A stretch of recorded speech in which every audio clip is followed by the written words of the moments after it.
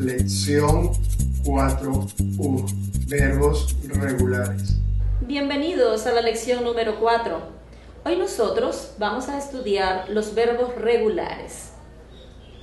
Un verbo regular es un verbo que no cambia en la raíz. La raíz es la primera parte del verbo. No es complicado. Nosotros vamos a tener una terminación para cada persona del verbo. Vamos a conjugar el verbo estudiar. Yo estudio. Tú estudias. Usted estudia. Nosotros estudiamos. Ustedes estudian. Ejemplo, ella estudia español en Coastal Spanish Institute. Nosotros estudiamos en la tarde. Tú estudias todas las noches. Es importante con los verbos usar expresiones de tiempo. Por ejemplo, todos los días, todas las semanas, todos los años, todas las noches, ahora, hoy. Lección 4.2 Los pronombres interrogativos. Continuamos con otra parte de la lección número 4. En esta parte, nosotros vamos a estudiar los pronombres interrogativos. Los pronombres interrogativos son muy importantes cuando nosotros necesitamos hacer preguntas como dónde, cuándo, cómo. Entonces nosotros vamos a aprender con preguntas. ¿Dónde? Expresa lugar. ¿Dónde está la escuela? Oh, la escuela está en Tamarindo. Es localización. ¿Cuándo? Expresa tiempo. ¿Cuándo es su cumpleaños? Mi cumpleaños es en enero, febrero, por ejemplo. ¿A qué hora? Significa tiempo. ¿A qué hora es la clase? La clase es en la mañana. ¿Cuántos? significa cantidad. ¿Cuántos estudiantes hay en la clase?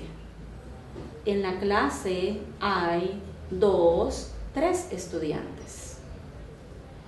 ¿Quién y quiénes? Para personas. Por ejemplo, ¿quién es su profesor? Mi profesor es ¿Por qué nosotros usamos para causa? ¿Por qué estudia español? Yo estudio español para hablar con mis amigos. No olvide que en su libro de texto usted tiene más pronombres interrogativos y más ejemplos para practicar. Lección 4.3 Los artículos. Continuamos con la lección número 4 del nivel de principiante. Vamos a revisar aquí el uso de los artículos. Número 1 tenemos los artículos definidos. Para el singular masculino, el, el singular femenino, la Plural masculino, los. Plural femenino, las. Ejemplo, el libro, los libros. La mesa, las mesas. Número 2. Artículos indefinidos. Estos nos sirven para expresar cantidad. Para el singular masculino, un. Singular femenino, una.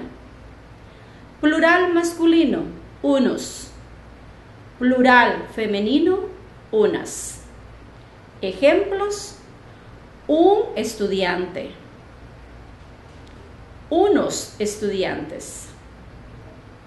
Una mesa. Unas mesas. Lección 4.4. Ejercicio. Continuamos con la lección número 4. Esta vez tenemos un ejercicio de comprensión muy importante para practicar los verbos que terminan en ar.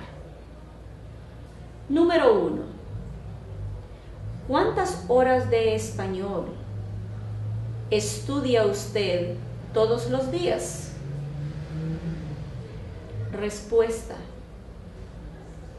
Yo estudio español cuatro horas todos los días. Número dos. ¿Dónde camina usted? Respuesta. Yo camino en la playa. Número 3. ¿Qué compra usted en el supermercado? Respuesta.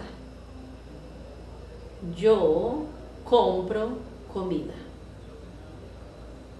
En el libro usted puede encontrar más verbos que terminan en ar y puede practicar. Es muy importante con los verbos practicar la conjugación y las expresiones de tiempo en nuestras oraciones. Lección 4.4. La tarea. Ahora nosotros vamos a asignar la tarea de la lección número 4. Responder las siguientes preguntas. ¿De dónde es usted? Número 2. ¿Cómo está usted? Número 3. ¿Cuál es su comida favorita? Número 4. ¿De dónde es su profesor de español? Número 5. ¿Por qué estudia español? Por favor, estudie su tarea y mucho éxito al resolver el ejercicio.